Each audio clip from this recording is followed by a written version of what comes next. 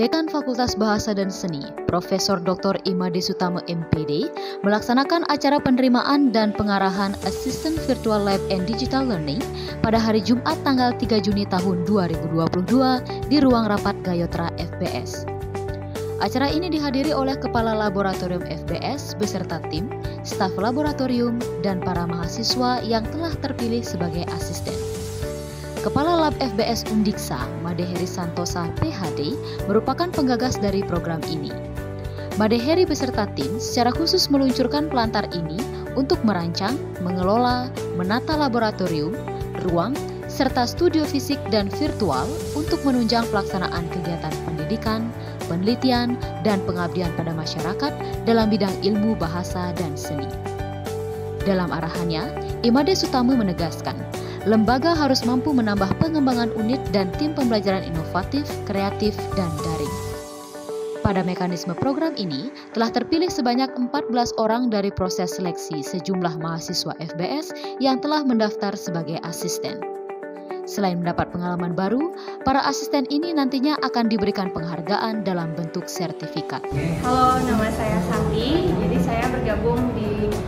Virtual Lab and Digital Learning di FBS ini karena saya melihat ini adalah suatu kesempatan yang baik untuk saya untuk mengembangkan soft skill dan juga hard skill saya, terutama karena saya masuk di bidang Educational Research Assistant yang mana menurut saya akan sangat membantu untuk saya ke depannya baik itu untuk mencari pekerjaan atau untuk meneruskan pendidikan saya.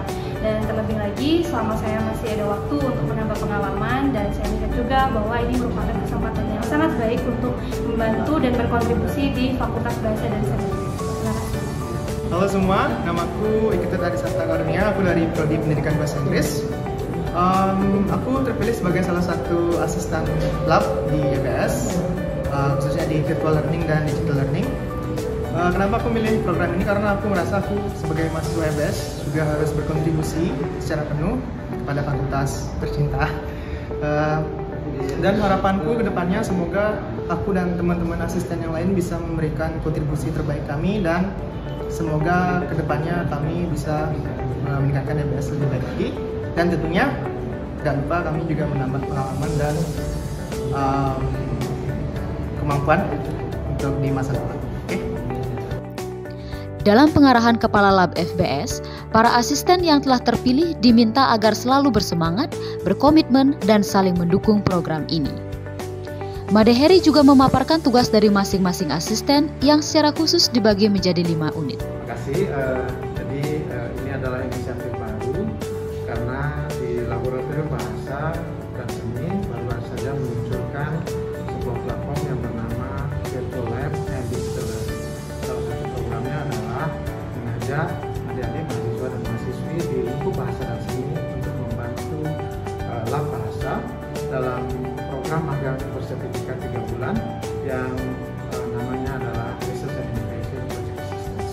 Ada lima project assistance yang kami buka yaitu Research Assistance, Innovation Resources Assistance, Educational Resources Assistance, Podcast Creator, and Newsletter Creator. Uh, ada 14 asisten lab yang kami terima pada periode kali ini dan semuanya sudah bergabung dan diterima oleh dekan uh, tadi pagi. Harapannya adalah para asisten ini bisa membantu kami dan digital learning dan juga membantu mewujudkan ide-ide uh, terkait uh, pentingnya revitalisasi uh, lab dalam bentuk lab virtual yang memang sudah menjadi trennya di masa seperti sekarang. Program ini akan dilaksanakan selama tiga bulan lamanya dengan menyesuaikan perkembangan minat dan kompetensi calon asisten yang dipandang layak membantu kinerja tim. Dan jika memungkinkan, magang asisten ini akan dirangkum dalam buku praktik baik ber-ISBN. Medcom Fakultas Bahasa dan Seni Undiksa melaporkan.